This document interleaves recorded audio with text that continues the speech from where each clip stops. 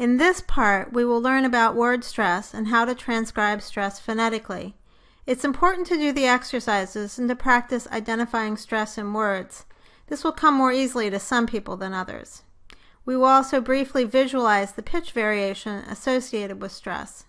In English, when we say a word with more than one syllable, particularly if we say the word by itself or in isolation, one or more syllables are typically pronounced with more emphasis than the others. The emphasized syllable or syllables are usually more intense or louder, longer in duration, and have a higher pitch of the voice than the non emphasized syllables. The subtle emphasis of one or more syllables is called word stress. Other names for word stress that you should know are the terms lexical stress or word accent. Practice exercise 2.17 gives some examples of words that change from noun to verb based on the syllable that is stressed. In all of these words, the word is a noun when the stress is on the first syllable and a verb when the stress is on the second syllable. Listen. Contest versus contest. Refuse versus refuse. Project versus project. Confines versus confines. In each pair, the first word was a noun and the stress was on the first syllable. The second word was a verb, and the stress was on the second syllable. Also, notice that the quality of the vowel sometimes changes when the vowel is stressed compared to when it is not stressed.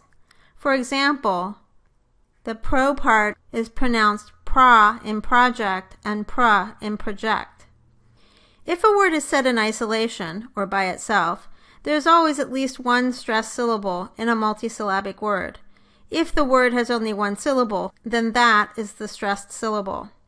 In a multisyllabic word, there may be more than one stronger syllable. For example, in the word constitution, the con and the two syllables are both stronger than the st and the shun syllables. However, there is usually one syllable that is the strongest. So in the word constitution, the two syllable is the strongest, and the con is the second strongest. Listen Constitution. The strongest syllable in the word is called the primary stressed syllable. The other stronger syllable or syllables are called the secondary stressed syllables. The weakest syllables in a word are those that do not have primary or secondary stress, and they are called unstressed syllables.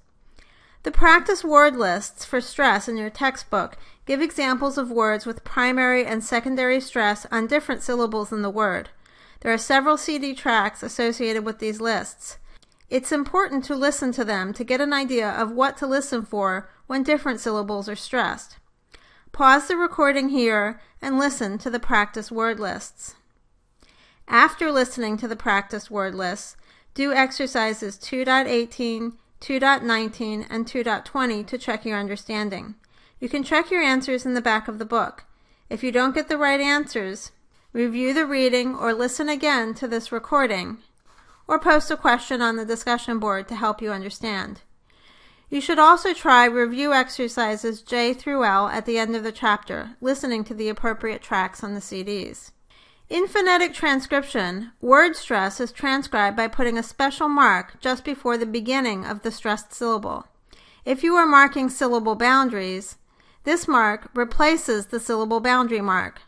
The mark is a small vertical line just above the top of the line preceding the beginning of the stressed syllable. Please refer to the example on the slide for the correct transcription of the stressed symbol. For example, the mark should not be above the syllable itself, and it should not be slanted to the left or to the right. Word stress can affect how the entire syllable is produced, making it longer in duration and more intense.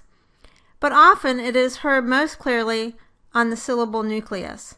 Typically, the stressed syllable will have the highest pitch in the word.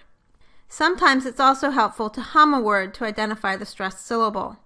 For example, if I hum the word constitution, it sounds like this. Hmm hmm hmm hmm. How about this word? Hmm hmm hmm. That was the word tomorrow. Stress is on the second syllable. Play the linked video on the slide.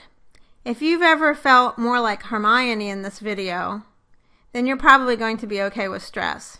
If you're more like Ron, you might find stress to be more of a challenge. While there are no hard and fast rules about stress, and practice is the most important way to get better at identifying stress syllables, here are a few tips. First, in English, most but not all two syllable or bisyllabic words have stress on the first syllable. We can hear this in nicknames in English. For example, the names Billy, Mary, Jesse, Mandy, and Tony all have stress on the first syllable. It's a little unusual to have English two syllable names with stress on the second syllable. Some examples, however, are Lynette and Annette. As I said earlier, humming the word and listening to the pitch and the loudness without the distraction of the phonemes themselves can help identify stress. Or you can try saying just the vowels. Another way to learn to hear the stress patterns in sentences and words is to listen to poetry or nursery rhymes, which tend to have an exaggerated rhythm. Another possibility is to try making each syllable strongest in turn and try to hear which one sounds right. For example, in the word together, I could try together, together, and together. The second one sounds right to me. Finally, Let's take a look at what the stress syllable looks like in terms of its pitch. Here I have the words terrified and communicate. Terrified. Communicate. The graphs that you are seeing show time on the horizontal or x-axis and pitch of the voice called the fundamental frequency on the vertical or the y-axis. So what you are seeing on the line that is drawn out on the graph right here is how the pitch of the voice changes during the production of the word. I've put vertical lines in the graph at the appropriate boundaries between the syllables. Tear, uh, fide, for example. The word terrified has stress on the first syllable, and you can see that the pitch of the voice rises slightly and is highest on that first syllable. Then the pitch falls off into the second syllable and levels out in the third syllable. In the word communicate, communicate, on the other hand, the pitch of the voice goes down slightly in the first syllable and then rises to a peak in the second syllable, mune, and falls off in the third and the fourth syllables. So in each case, the stressed syllables are identifiable because they contain a pitch peak or high point with pitch rising during that stressed syllable.